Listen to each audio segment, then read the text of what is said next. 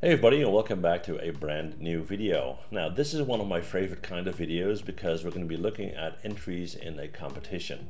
A little while back I put a video up uh, for the BenQ Key Visual Graphic Challenge uh, for the promotion of the brand new PD3220U monitor. And that's actually this guy right here. And I did a review on that as well, so I'll put that up here or here somewhere, right?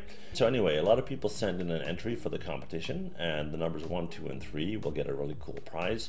Uh, the first prize is actually the PD3220U, so pretty sweet. Now, of course, it's up to BenQ to choose the winners, but nevertheless, I'm pretty sure that all the contenders would love to see your votes below. What do you think? Okay, so uh, pick your favorite, let them know in the comments, and please share the video so that all the artists get the uh, very hard needed exposure for their work. Okay, so uh, enjoy the video, um, check it out, and I'll see you guys in a sec.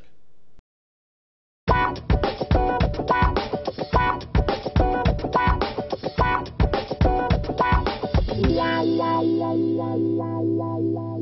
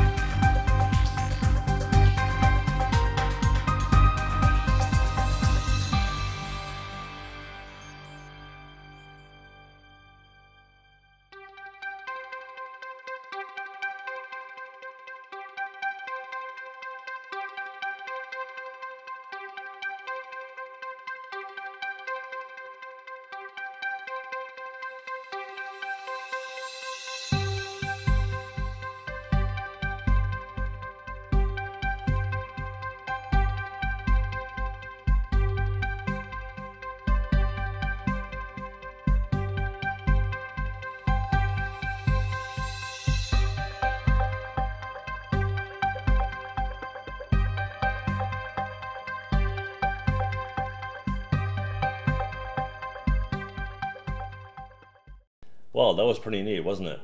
So uh, as you can see, a lot of different styles, a lot of different levels. Uh, anybody could enter this challenge from absolute beginner to pro, so that's all good. Uh, hopefully they had fun doing that. Keep in mind that all the entries, uh, if they want to be eligible to be uh, in first, second, or third place, have to own, of course, all the rights for everything that they use in the entry. So if you use photographs, you have to have the right to do that and so forth, right? So uh, I can't wait to see what you guys come up with below. Of course, I cannot wait either to see who BenQ is going to pick, and I'm sure that it's going to be a lot of fun, right? Well, thank you guys for checking out this video. Hit that subscribe button if you don't want to miss out on future videos, and see you guys next time. Bye.